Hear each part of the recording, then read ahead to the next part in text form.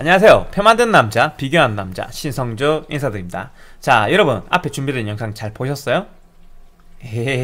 잘 봤다 해도 기억이 안 나죠? 어떤 거였어요?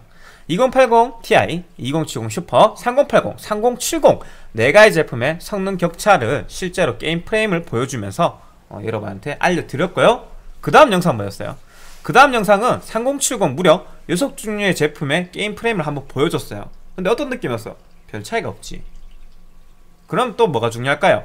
소음하고 온도가 중요하겠죠? 그래서 OCCT로 직접 돌리면서 어떤 놈이 온도가 높고 어떤 놈이 소음이 큰지까지 여러분한테 한번 보여드렸습니다. 어, 그 영상에는 아쉽게도 4분할이라서 아마 OCCT로 돌린 소음 온도는 어드밴스하고 울트라가 빠져 있을 거예요. 근데 그거 테스트는 다 했거든요. 이게 6분할로 하니까 값이 안 보이더라고요. 어쩔 수 없이 빼버렸는데 음, 표로 다 만들어 왔으니까 걱정하지 말고 표 한번 보면서 결론 내려보죠. 일단 2070 슈퍼의 평균 프레임이 FHD에서 87점 나옵니다. 2080 Ti는 109 그리고 3080은 135 정도가 나오네요. 어, 그 3070 어느 정도 성능이었을까요? 네, 110 정도 평균 프레임 나옵니다. 이 6개 제품 중에서 어느 걸 찍어도 109에서 114의 정도가 나옵니다 그러면 딱 이 프레임은 어, 누구랑 똑같습니까? 네. 2080 Ti와 흡사한 성능을 보여주고 있습니다. 엔비디아 발표상에는 이거보다 높은 성능을 가지고 있다 그랬는데 실제로는 그렇지는 않았어요. 거의 동등한 성능을 가지고 있었어요. 2080 Ti랑. 자, 그럼 QHD에서는 좀 다를까요? QHD에서도 한번 확인해 봤는데 사실 2080 Ti 평균 프레임 80.6, 2070 평균 프레임 80.4로 이것도 거의 오차 수준 0.2프레임밖에 차이 나지 않았습니다. 그럼 성능적으로 딱 봤을 때 2070 슈퍼가 있고 3070이 있고 3080이 있게 되는 거죠. 2080 Ti는 3070과 동일한 성능을 가지고 있고요.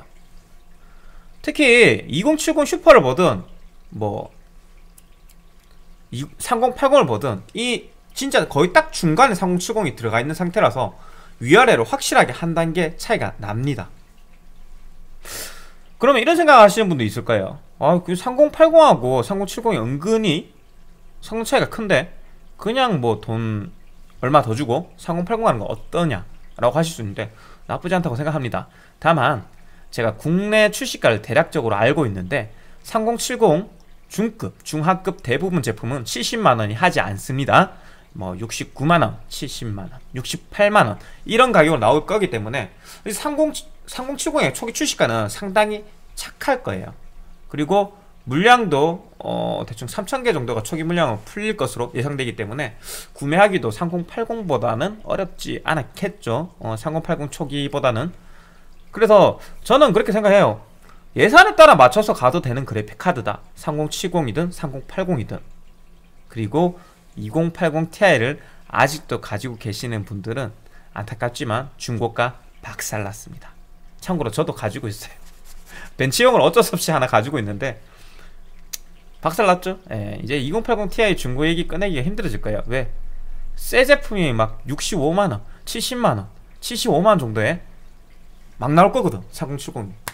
그렇다 보니까, 음, 여러분. 2080 Ti 중고가가 정말 많이 때려지, 내려가지 않는 이상 어지간해서 3070으로 구매하시는 걸 추천드릴게요. 신규 구매자는. 자, 여기서 끝나면 좀 아쉽죠? 그러면 성주야, 그 여섯 개 제품 중에 어느 게 제일 좋던데? 궁금하신 분 있을 거 아니에요? 일단 성능부터 한번 볼게요. 성능, 뭐, 조텍 엣지든, 어, 아수스 KO든, 컬러풀 울트라 어드밴스든, 아니면은 펠릿의 게이밍 프로든, 갤럭시의 EX 제품이든, 똑같습니다. 똑같아요. 많이 차이나 1%예요. 109.6, 뭐, 110.6, 109, 뭐 이래 차이 나니까, 진짜 차이 많이 나는 구간에서 얼마 차이 납니까? 1.6프레임. 2%도 차이가 안 납니다.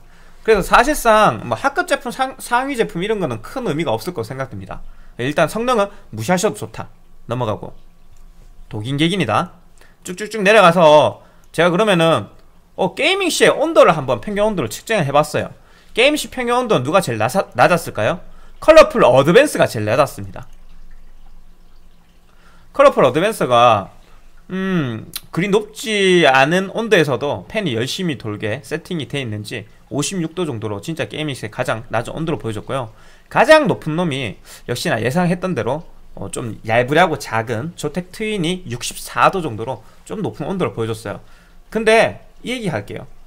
솔직히 한여름에 in case 들어간다 하더라도 저 정도면 70도 중반에서 멈출 거기 때문에 어느 제품 사도 상관은 없을 것으로 보인다 다만 온도가 낮은 어드밴스가 boost는 좀 더 잘 터지겠구나 라는 생각이 들더라고요. 자, 그 게임 시 평균 온도 말고 그럼 과부하 시 이제 좀 케이스 안 좋은 거 쓰고 한여름에 에어컨도 안 켜고 게임한다. 그래서 빡빡하게 온도 올라간다. 그때는 누가 가장 안 좋았을까? 조, 조금 아쉽게도 아수스 KO 제품이 딴 제품보다 1도 정도 높았어요. 아, 큰 차이는 안 났는데 물론 제일 낮은 놈하고 비교하면 또 한 4도 차이 나긴 하는데 어, 평균 온도가 보통 64.5도 정도쯤 되니까 1도 정도가 높다고 보시면 되겠네요. 1.5도. 아수스 KO가 조금 높았습니다. 다만 소음 같은 경우에는 아수스 KO는 낮은 편에 속했어요. 왜 낮은 편에 속하는지 컬러풀 어드밴스 알 겁니다. 컬러풀 어드밴스가 팬 RPM 타겟이 조금 높게 설정이 됐는지 48dB 정도로 다른 제품보다 다소 높은 소음을 보여주고 있었고요. 어, 실제로 그러면 게임하는데 많이 시끄럽다느냐 그, 또 그렇진 않았어요 어, 게임 사운드가 켜져 있으면은 사실 48 데시벨이 생각보다 크게 느껴지진 않았습니다. 바로 옆에 있었어도. 그래서 음... 네 결론은 뭔데? 이게 좀 골치가 아픈 게 아니 이 정도 소음도 그냥 참을 수 있을 정도면은 야, 아니 소음에 좀 민감하시면 당연히 갤럭시 EX나 게이밍 프로 가는 게 좋은데 그런 분들 아니고 평범한 분들은 48dB까지 그냥 들을만 할 거예요 그래서 소음 별로 신경 안 쓴다. 그럼 패스하고. 온도? 어느 제품 사도 온도 차이가 생각보다 그리 안 날 것이다. 한여름에도 70도 초중반에서 멈출 거다. 그러면 온도도 별 문제 없어. 심지어 성능도 별 차이 없어. 그럼 다 별 차이가 없으면은 어떻게 사야 돼요? 제일 싼 놈 사세요.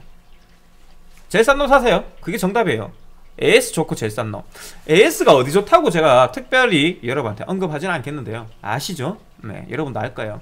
1티어급 AS 어디라고 제가 자주 얘기해드렸잖아요. 그 회사들 제품 중에서 저렴한 거 사시는 게 70은 베스트라고 생각을 합니다. 진짜 80보다 더 차이가 안 나요. 여튼 오늘 한번 여러분한테 6종 70 리뷰 플러스 그리고 3070의 성능 격차까지 싹 보여드렸네요. 어, 영상이 조금 미흡할 수도 있는데 어쩔 수 없어요. 지금 당장 1시간 뒤에 제가 생방을 해야 되거든요. 미안합니다. 다음번에 뭐 또 다른 영상을 좀 더 보충해드리기로 하고 오늘 영상 여기까지 할게요. 여러분 보시면 수고 많으셨고요. 다음번에 더 좋은 영상으로 만나 뵙겠습니다. 빠이빠이.